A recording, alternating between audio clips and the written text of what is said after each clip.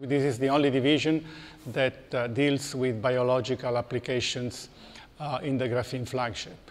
We are going to make sure that graphene is not harmful to our health and environment, and uh, uh we have to make sure that uh, uh, everything is well under control.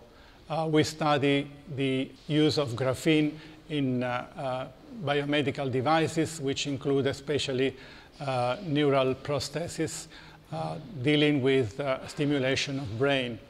The work package dealing with sensors uh, uses graphene as a basis for uh, sensing gases or uh, bioanalytes. So for instance, one of the main goals of this uh, work package is to, to obtain a point of care diagnostics which means we want to have a device that the consumer can have at uh, their own disposal uh, in, for blood analysis, for everyday analysis, for self-curing uh, or for self-diagnosis, for instance. I think that the graphene is very well suited for tissue engineering problems because graphene is a, is a flat material and is a, uh, is a conductive material. So in principle, it can be used for uh, building up uh, uh, artificial organs, especially electrically active uh, organs like uh, heart or,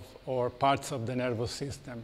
And so it will be very interesting to see whether uh, this uh, new material in combination with other materials can produce something which is really a breakthrough in this field.